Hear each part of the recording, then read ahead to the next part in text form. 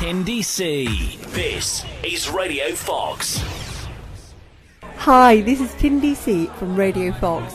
Now, I've been acting for many years, but it's only a few years ago that I made the transition into movies, and it all started with The Wrong Floor. Basically, that's a British grindhouse style action thriller, and it's set in the UK and in Spain. And how exciting! Because I'm actually at its premiere right now at the Phoenix Arts in Leicester, and we are about to go to the after party at Midas Bar, where I hope to chat to some of the cast and crew members. Hi, I'm Marc Hamill, and I'm the director of The Wrong Floor. Ooh, I'm speaking to Marc Hamill. Marc with the C, though, yeah? Marc the C, not uh, Luke Skywalker, as in Mark Hamill with a K. Marc Hamill of Leicestershire, yeah? Okay, and I've got to read you something now. Something in the Leicester Mercury the other day, a quote that you uh, wrote, because you do run a footwear company in Coalville, and you recently said it was weird for the staff coming in to see se- severed limbs lying around the place. That's right. So, uh, well, I love as, that as- quote, by the way. as you know, Tindy, most of it was filmed on uh, the weekends, um, and most of it was f- well, that's, that's probably about fifty percent of it was filmed in our footwear warehouse. Um, so you'd be filming over the weekend, and it gets to Sunday night, and you you know you you've got props and things lying around, and you think, oh, I'll, I'll leave it till Monday morning to clear up. Um, but the staff get in early, and they see, you know, you might have missed something. You've not, you know, you've you've left something around. It might be a, a severed arm or or a Yeah, head or a head or something, and it might be on somebody's workstation. Oh, lovely. so, can you tell um, sort of our listeners that don't know about The Wrong Floor, what type of film is it? Um, it's sort of a throwback film to the 80s, the 80s style um, Grindhouse films. Well, Grindhouse was really 60s and 70s, but uh, in the 80s you had lo- a lot of action films that were in a Grindhouse style, and it's um, it's kind of a an homage to that. So, tell me about your background. What other things have you done? Well, I- I've I've uh, run a recording studio in in Leicestershire for well about 15 years. Um, start, started back in uh, about 2003, I think. I opened Roasted Studios. I've also worked at White House Studios down in Syston. Um, so I've recorded a lot of bands, done a lot of music videos. I went more into the video side of things. Um, gathered a bit of equipment, and then when my brother started working with me at the footwear place, I said basically, you know, the footwear thing's taking off now. Um, so I'm going to close the studio, but I've got this equipment. What should we do with it? So we just came up with the idea of making a film. So, was it your idea to make a grindhouse type film? Yes, it was. Uh, it was my idea. Look who's just walked in. Speak of the devil. And I'm joined by. Carl Hamill, uh, co-writer, co-director of The Wrong Floor. Okay, so how did you find the whole experience? Absolutely loved it. From the from filmmaking point of view, it was very hard to do over three years because we actually had jobs Monday to Friday, nine till five. So trying to get the um, the talent or the actors in whenever we could on weekends at nights, it was very hard but very rewarding. And yeah, and congratulations, guys! I really enjoyed it. Not to say that because I was in it, I did really enjoy it. But you did it on quite a budget, didn't you? We did. Um, we scrimped and saved. We asked favours. We had a lot of actors in for free, and we just did. We did as much as we could on the budget we had, but that never. Let, we never stopped the scope. So me and Marc would sit there and we said, "What did you want to do for the next scene?"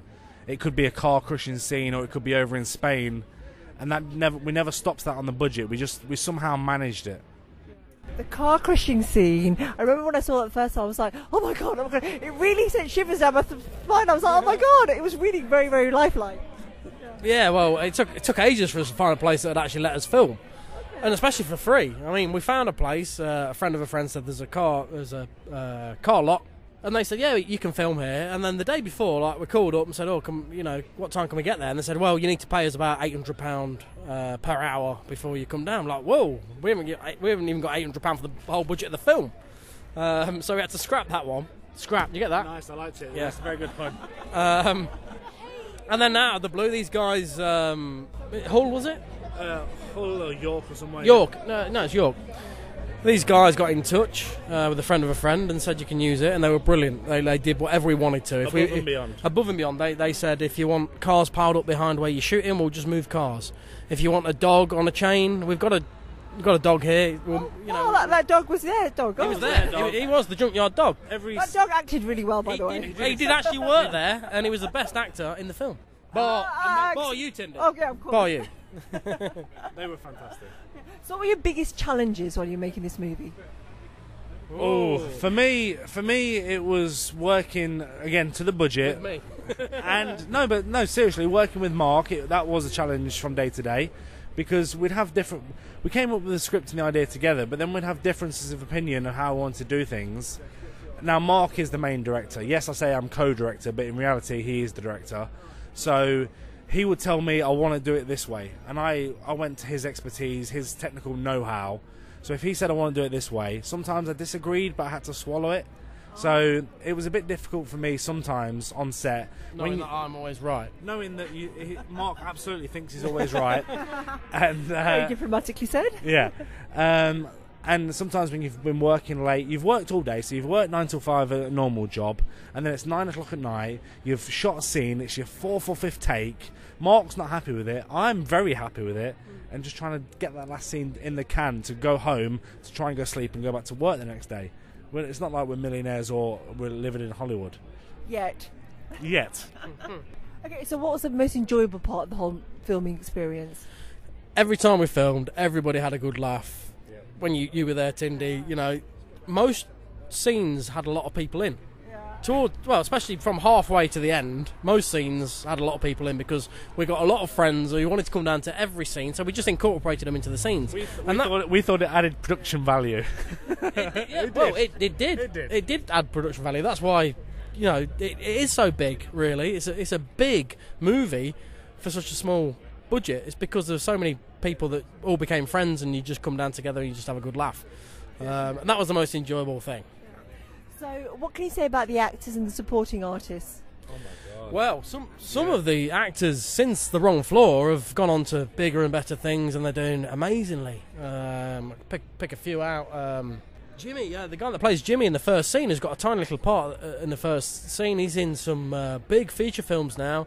Um, he's doing ad like commercials left, right, and centre. He was in the big uh, O2 ad. He's the guy that stands up in the crowd. Um, and the O2 ad.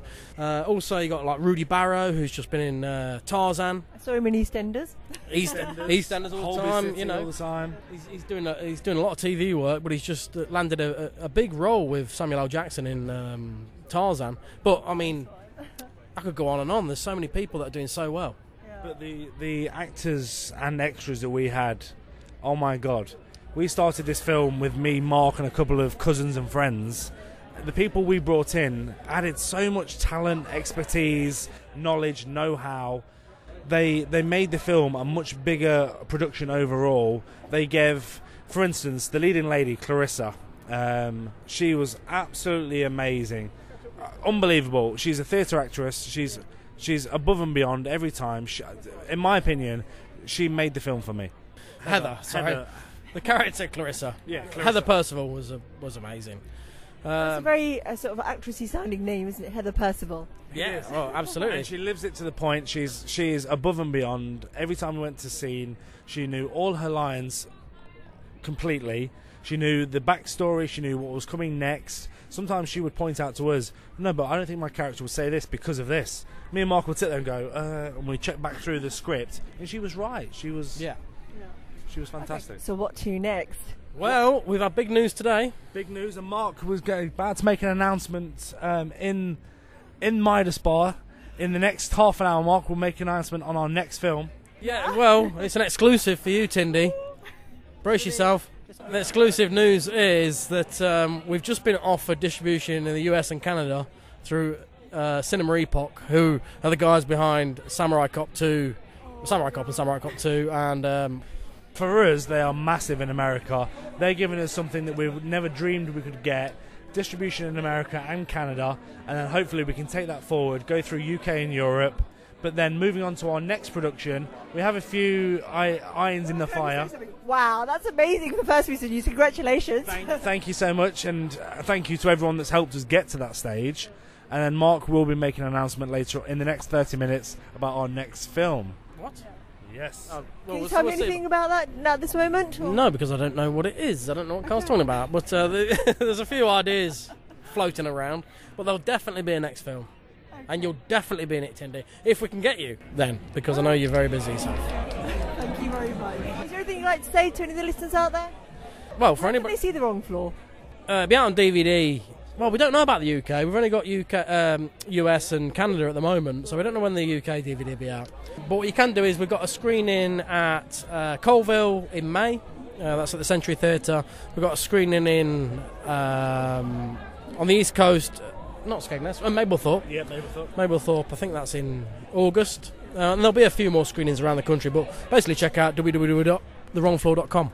Hello, I'm MJ Simpson. I play the character of Dr. Logan, and I'm also an associate producer on the film. Okay, mad scientist. Would you agree that that's a accurate description of Dr. Logan, or I like to think he's not so much mad, he's just very, very annoyed. And very eccentric as well? He is, yeah. He he's um he's got utter contempt for all these gangsters around him. Um, he thinks they're thugs, they're idiots. He, as far as he's concerned, although they're employing him, he's using them to fund his research into whatever it is he's doing. And then we see this little insight that he's got these mad sort of mm, crypto-fascist idea that he's going to take over the world with haze. He's clearly loopy. Um, on the other hand, it did occur to me halfway through making this that I'd actually kept my wedding ring on all the time, so I like to think there's a Mrs. Logan somewhere at home who's got no idea what he does. He just comes home every day. Have a nice day at work, dear. Yes, have a nice day at work. But he's not coming home from this one. Ah, this this character is is quite a character. How was it playing Dr. Logan? It was enormous fun. I mean, it really was. This, this is one of those characters where you, you can't sort of overact. I mean, he's he's quite clearly n- not right in the head. He's got all these crazy ideas. So it was an absolute joy to do. And um, Marc was really good. Um, we we got together at the start and we went through the script and sort of tweaked and, and uh, uh, some of the lines because I, I, I do script writing as well. So I, I sort of looked at it, just polished it up a little bit. Um, and he was really open to people coming up with new ideas. Um, and then right at the end, I mean, not giving anything away, but I, I don't make it to the end of the film. And originally I was going to be whacked over the head with a, a paperweight. And I thought, well, that, that's not much fun. So we wanted something a little bit bloodier. Um, Uh, You did go out in style, didn't you? uh, we, we did, and they were throwing blood on, on my lab coat, and I said, "Look, you know, give me a glass of that. Get ready to film because I'm not holding this in my mouth for very long." And then just ooh, and there's this, money shot of me just spurting this blood out of my mouth as the, as the I think it's a letter opener goes in. That's what you want is a good death scene. Yeah, lovely. what what uh, emotion that did surprise me. I was laughing quite a lot throughout the whole film. Um, does that make me a sadist or some kind of mad person? Or No, no, this doesn't make you a bad person at all. It is a comedy. It's a, it's a mashup. It's a comedy. It's a gangster film. It's an action film. It's a horror film. It's all these things bolted together, and I think that's its strength. You know, people make they say, "Oh, we'll make a zombie film or we'll make a gangster film," but this has got everything mashed in together, and I think that it's its unique appeal. There's everything there, and it and it's very retro. I mean, you can see from the um, all sort of fake bits of, of, of VHS dropout that have been added in post production. Um, you know, Marc spent his childhood watching sort of third generation VHS copies of dodgy you know, action films and, and, and sci-fi films, and this is his love letter to them. And I, I think it's brilliant, and I'm really, really proud to be involved with it because it's been enormous fun. Thank you so much. So where to next for you? Um, well, since this, I've done a couple of other bits. I'm not an actor. I've got a day job, so it's it's just a hobby. It's just fun. Some people, you know, take it more seriously. I'd love to do more of it, but I have to, you know, fit it around what I've got. Um, so you know, there's not a huge filmmaking scene around Leicester, but it's starting to build up a little bit. So you know, I keep my eye out on the adverts, and if there is something, and it's it's a small supporting role that I think I can do, then I'll take it. So there was a there was a little fil- a little thriller shot in Mountsorrel uh, last year called Do Something Jake, and had quite a nice supporting role in that. That's in post production at the moment. Um, mostly, and, and also my son's in this in a, in a couple of bits. The the little boy in the Laser Quest scene who says "cool," and that got quite a good laugh when he blows Oh guy's head my off. god. so your little son blew somebody's head off in this movie, and how old was he at the time? He was ten then. He's twelve now, um, and I was really pleased he got a big laugh. Um, What did his mother have to say about that then? his, his his mother is fine. He, he loves acting, um, and it's really you know I got into it because of him. So uh, unfortunately, he's not old enough to come and see it tonight. Um, but uh, I'll, I'll show him some clips uh, when I get home. Yeah, uh, it's it's clearly grossly unsuitable for a twelve year old. On the other hand, it is suitably gross for a twelve year old. So you know um, he, he'll be he'll be happy to, to see some clips of it. But he, he should be in bed by now. Hello, my name's Ron Hamill. I play Mr. Marseille in The Wrong Floor. Oh, I'm talking to Mr. Marseille. Oh, you're not going to put me in the boot, are you? You be careful. Whatever you ask me, you be careful. Okay, I've been warned. Right, so tell me about your character in the film. My character, I actually produce a, a very bad substance called haze, which is going to change the world. It's a very powerful drug. Not very nice. You're not a very nice person in the film either, are you? Well, I don't like people getting in my way. Put it that way. And the irony of the situation is because you seem like a lovely gentleman. You seem like a really nice guy. Okay, is it? Are you a really nice guy in real life, or is there a bit of Mr. Marseille in you? No, I'm a bad guy. Oh. I live in Spain. I'm a bad guy. Anybody that lives in Spain has got to be bad. Right. So tell us. So Carl is your son. He was the Yes. main actor, and Marc is the director. He's your other son.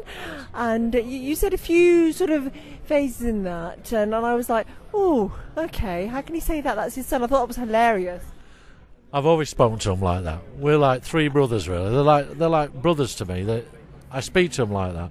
We work together. We've worked together since they were kids. They've worked together even to this day, to this moment.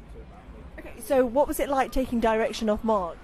Hard, You're like, I'm the father. swearing and saying things that you don't normally come up with. You might not believe, but you've got to do what the director says. so how did your um, other half take this? She was she was wonderful. She couldn't believe all the swearing. She couldn't believe what, even with her sons and me. We we got a real bollocking to tell you the truth. But it's it's it's in the game, innit? That's the film game. That's what you do. You have to do it. So how do you feel now? You've, you've done the congratulations. The, the, the film's completed now. Thank you very much. I'm glad it's over, and I hope I'm dead. I hope I don't have to come back from Spain to do some more. I really do.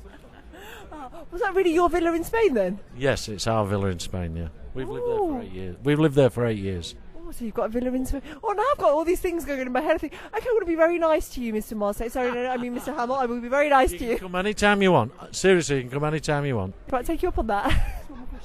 so, where, what does the future hold for you now? I Any don't more wanna- acting roles? No more acting roles. I've been asked to act in different things. I don't want to act. I want to go to Spain with my wife and enjoy each other. My name is Manoj Anand, and I'm uh, an actor and uh, crew member of The Wrong Floor. Okay, what characters do you play in The Wrong Floor? Oh, that's a good question. I play about 11 characters. If I can remember from the top of my head, I play uh, policeman, uh, toxic hobo, uh, fireman, um, and mo- oh, I can't remember the other characters. And many others, Many eh? And I've got a confession to make now because when I went on to Floor, the first day I was there, I met Manoj and he really inspired me to become so involved and he was very passionate about the whole project. How's it been for you? It's been absolutely fantastic. Um, by doing this project, I've actually gone on to do other projects, and it's uh, inspired me to do more acting work. So it's it's been inspirational more than anything Okay, so why should we go and watch The Wrong Floor? because it's worth it. it's brilliant. You will enjoy it. It's entertaining. It's fun. It's full of laughter. A lot of you know, if you like gore, you know, all kinds of stuff like that. You know, it's just entertainment, pure entertainment. So what's your funniest moment whilst you're filming? Oh, while I was filming, um, I think. Uh, One of the most memorable moments then. Memorable moments. Uh, I think day one because because it was the first day. It was. I remember it very well. Day seven, September 2013. You were on set with us, so and uh, we had Obviously, you've got to remember that one. you have to remember that. Uh, but yeah, that was the most memorable day. The doing day one on it. Have you got anything to say about the Hamill brothers? Hamill Brothers, they are absolutely brilliant. They are they are inspiring. Uh, they do a lot for the community. They've done so much for the actors or the actresses. Uh, you know, they've got everybody involved within Leicestershire, and it's great for the county. Uh, and you know, they're flying the flag for the county, as far as I'm concerned. And you know, I want to carry on. I want to carry on doing work for them. I'm Suave Flava, and I played uh, Armed Response and a Toxic Hobo. Oh, lovely. I'm Sarah Cox and I played a VIP and a prostitute. lovely. So you've been supporting artists in The Wrong Floor, yeah? Yes, Yes. it's uh, been a really good journey for us. Uh, three years in the making, but um, the premiere was really good, and we've pleased we've seen it. The final um, finished product, yeah, it's been really good. And you were also a boxer in there, weren't you? I did forget about that. Yeah, I played a boxer in the opening scenes. Because when I first met Suave, he looked very different to how he does this evening. Yeah, very different. Yeah, in a tuxedo from going uh, from a boxer. like you had all these things on your face, and you were like all really beaten I was, up. And I was yeah. pretty battered in it, wasn't I? Yeah. So how was playing a prostitute for you then? Do you know what? It was really good fun, but I don't know if you remember on that day, it was Baltic. I think it was sleeting at one point, and I literally had no clothes on. You were very, very brave, I must say. If it weren't for the take tan, I think I would have been a bit blue. My legs were the warmest part, I think. Thigh high boots. that was a, that was actually quite a good day because I was there as well that day. Yeah. yeah, you were standing in front of a fire. Yeah. I seem to remember, so you were nice and warm. Yeah, I was rubbing it in, wasn't I? yeah. so where to next for you guys then? Well, I'm working on Rossi Boys. I've been co-writing with Marcus, and uh, I've got a couple of roles in the pipeline as well, big ones, coming off. So you still doing any of your singing? Um, I do occasionally, yeah. I've done the soundtrack for Rossi Boys, and we've got other artists working on that as well. So, yeah, I'm very much still involved with my music. Yeah. Oh, fabulous. How about you, Sarah?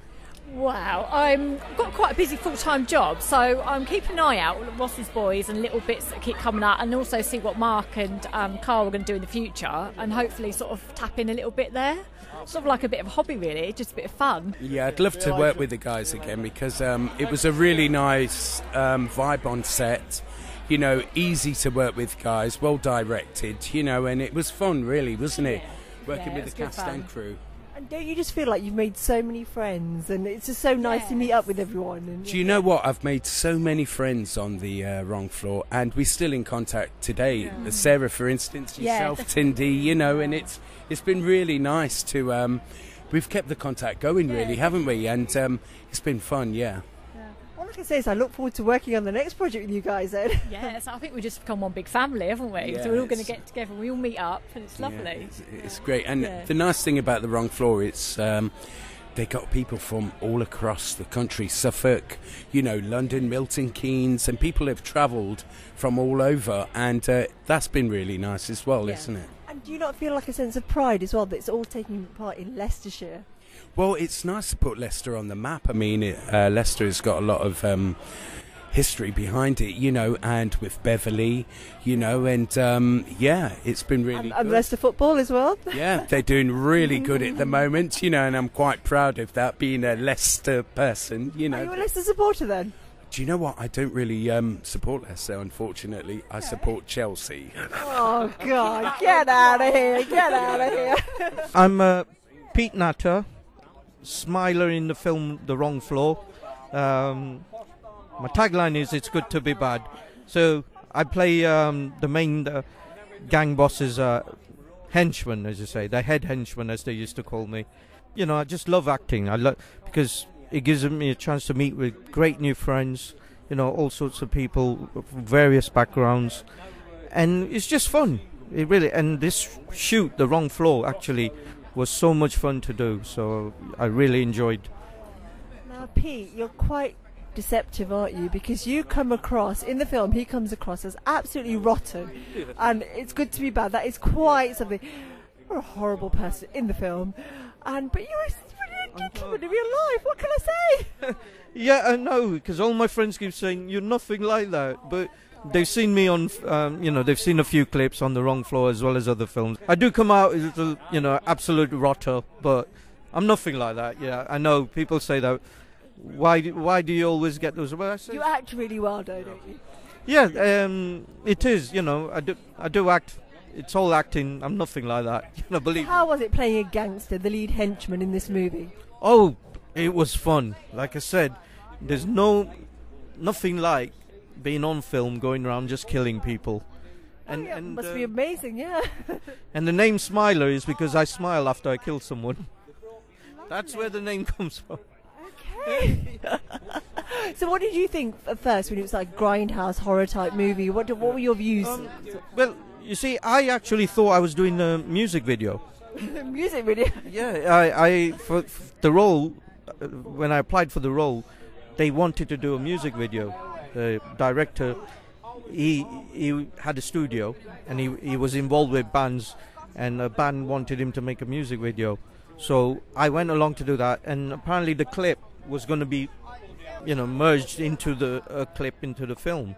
So that that's how it started. I, I thought I was doing a music video. I didn't realize I was. That's how they lured you in, eh? that's it. That's how they lured me in, and I ended up, you know. So basically, they said it's day one. So I've, I've virtually been on the film right from the st- uh, first day of shooting. Wow. And it's been three years now, hasn't it? It has. It has been three years since I. Um, What's been the most challenging bit for you so far? most challenging bit. I'll be honest. It really wasn't a challenge. I've I've not found. You know, that's the way I am. Maybe I've I've enjoyed every second. of- Very adaptable, then, yeah. Yeah, and I m- got to meet you, and I met all sorts of people. You know, all sorts of people from all over the country, and that's that's the fun part. And um, So, what else can we look out now from you? From me, um, I should feature in a film called The ID2, um, Shadwell Army, which apparently is a sequel for a film that was done back in I think the 90s, early 90s. So you can look out for me in that.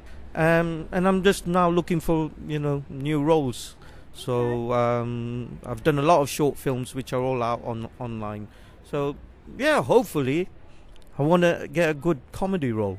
Oh. Yeah, so you know, away from the Where good. it doesn't involve you like blowing people's brains off. Yeah, yeah.